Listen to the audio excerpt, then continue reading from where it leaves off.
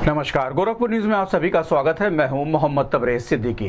रामगढ़ताल थाने की पुलिस ने मारपीट कर हत्याकारी करने के आरोप में तेरह अभियुक्तों को गिरफ़्तार किया है, जिसके संबंध में एसपी सिटी कृष्ण कुमार बिश्नोई ने पुलिस लाइन के सभागार में प्रेस वार्ता करते हुए बताया कि मुखबिर की सूचना पर तेरह अभियुक्तों को गिरफ़्तार किया गया है, जिनकी पहचान मुराली निषाद पुत्र स्वर्गीय रघुवर, दूसरा विष्णु निषाद पुत्र नवनाथ, तीसरा शिवनाथ निषाद पुत्र रघुवर चौथा, नवनाथ निषाद पुत्र रघुवर।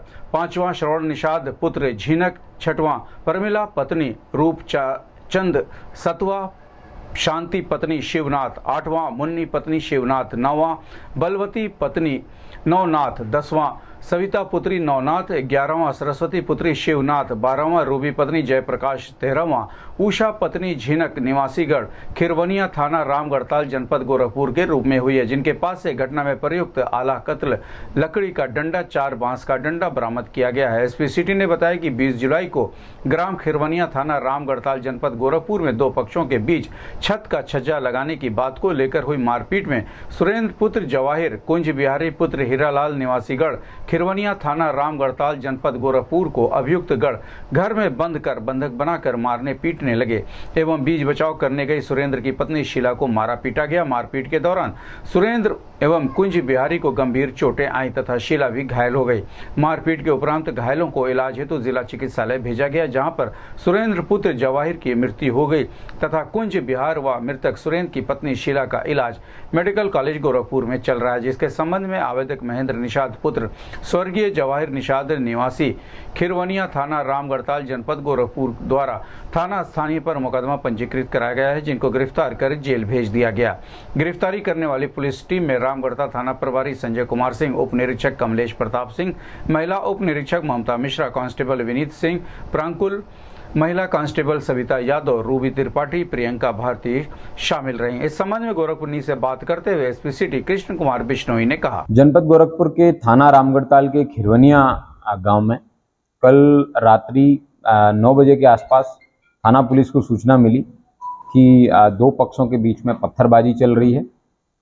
उस बात की सूचना होने पर चौकी प्रभारी आज़ाद नगर द्वारा तुरंत मौके का मुआयना किया गया। उनके मौके पे पहुँचने के समय भी पत्थरबाजी दोनों ग्रुपों में चल रही थी। उसमें से एक ग्रुप है वो मुरली नामक व्यक्ति का है और दूसरा जो है वो सुरेंद्र नामक पक्ष का है।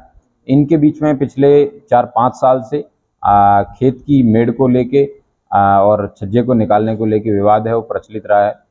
आ, कल रात्रि में दोनों पक्षों के बीच जब पत्थरबाजी हो रही थी तो उसमें मुरली पक्ष के लोगों द्वारा तीन लोगों को अपने पास, अपने घर में ले जाके बाँध बाँध दिया गया। उनमें से एक सुरेंद्र व्यक्ति हैं।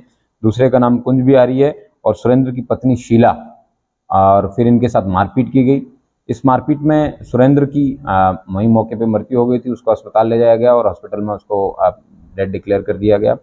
कुंज बिहारी को अस्पताल ले जाया गया और बाद में उसको बीआरडी रेफर कर दिया गया है। उसकी स्थिति अभी स्थिर है और शीला को भी कुछ गंभीर चोटें आई है। उसका भी ट्रीटमेंट जारी है। और इस मसले के अंदर कुल तेरह चौदह लोग सम्मिलित थे जिन्होंने इस पर हमला किया और पत्थरबाजी की और मारने पीटने में सहयोग किया, बाँध के पीटा गया।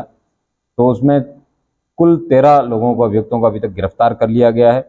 उनमें से ज़्यादातर महिलाएँ हैं जिन्होंने अपने घर के कमरे में ले जाके रस्सी से बाँध के उनको पीटा था।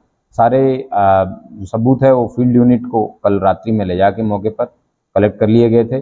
और उसी के आधार पर और चश्मदीद लोगों के बयानों के आधार पर कुल तेरह अभियुक्तों को गिरफ़्तार कर जेल भेजा जा रहा है और आ, मौके पर जो भी खून आलूदा है उसके साथ साथ जो ईंटें और लाठी डंडे थे वो सभी एज ए आला कत्ल के रूप में बरामद कर लिए गए। विवाद की वजह विवाद की वजह इंस्टेंट जो विवाद की वजह वो छज्जा निकालने को लेकर थी।